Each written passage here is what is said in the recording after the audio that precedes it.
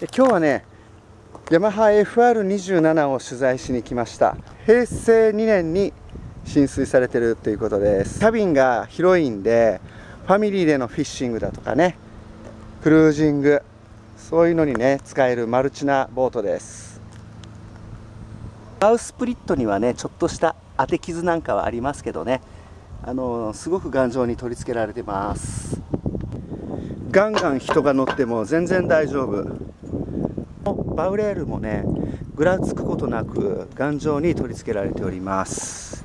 ずっとデッキの上を歩いていきましょう、うん、全然ねモコモコしたところはなくてねサイドデッキもね余裕で人が歩けます。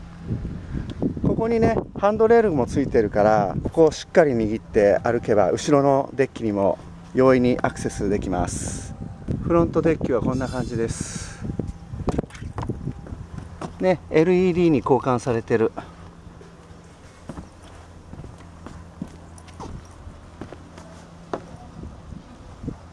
よしここ開けてみあこのハッチは交換されてるみたいだな。ねいい感じだ。ここのねこれも交換されてますよ。問題なく作動します。春の状態も悪くないですよ。まあ多少の傷だとかはありますけど。そしてここにはね横揺れ防止サイドチョッパーがついております。あ左舷側のガンネルのところにこれゴムが外れた感じ。これこういうのがありますね。ちょっと入れ込んじゃうといいんでしょうけどなかなか難しいんですよねこれが。よいしょ。そしてねこういう当て傷とかね補修の跡だとかヘアクラックだとかはありますけれどもね。これ補修した跡がありますね。こっち右舷側です。右舷側の春もねまあすれだとか傷だとかそういうのはありますけれど、まあ、そんなに大きな問題があるようなところはないです。後ろデッキはこんな感じ。2人が座れる椅子があってここにもあります。デッキの上はまあ汚れや傷はあります。ただねノンスリップまだまだありますのであんまり使ってないんだろうな。ここにね海水デッキシャワーがついてる。あここがちょっと開ければここからねシャワーが出てくるようになっております。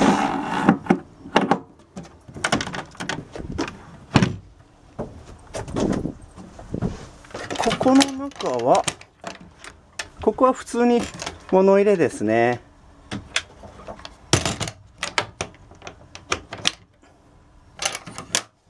えー、今ねハッチをね全部開けてみました。ダンパーも緩むことなくしっかり開きました。ああエンジンとドライバーこれ乗せ替えてあるんですね。こっちのバッテリーがね少しあの弱ってるっていうことでした。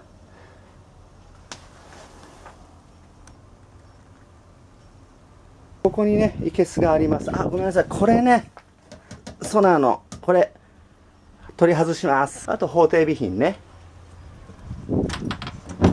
ちは普通の物入れです。それではキャビン覗いてみましょう。扉の開閉も問題なし。ロックもしっかり閉まります。中はこんな感じです。あシートがね張り替えられてますね。こっちもこっちも綺麗。そして机がこのようになります。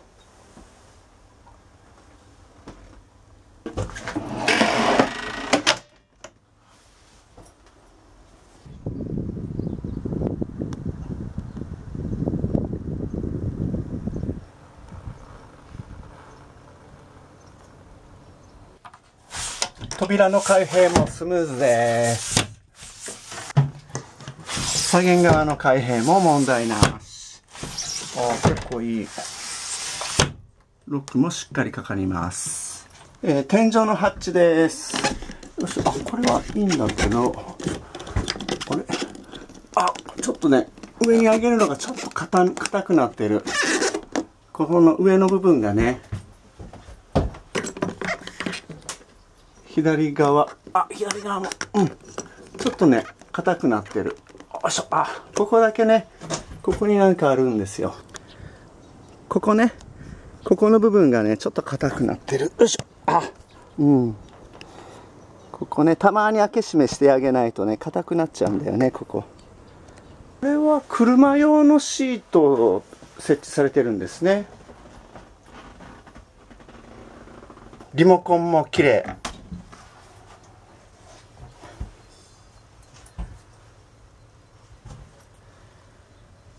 これとこれはね今ありますが取り外しましてこれを代わりに取り付けてくれます。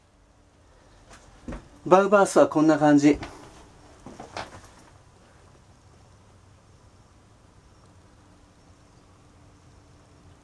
綺麗にされてますね。うん、年式の割にはねシミだとかカビだとかがね少ない。これ、ね、多分ね張り替えられてるのかもしれないずっと綺麗ですもんまあこの辺はねちょっとカビの跡とかありますけどね。カビ臭さもないしうん綺麗ですよ。天井からの雨漏りもなさそうです。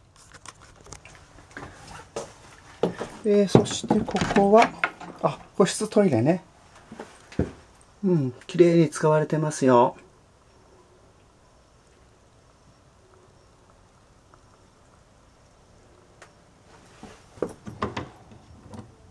こちらはあこちらはね物入れ。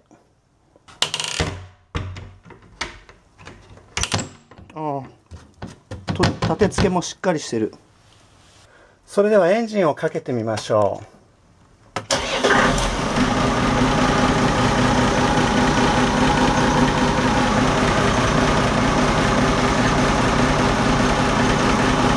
なんかここが。お。お。今キュッとなりましたね。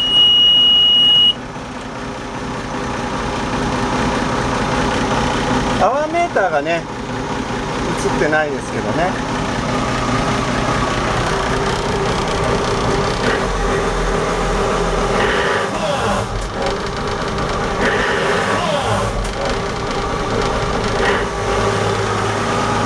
あ今回転上げたらね普通に動きました。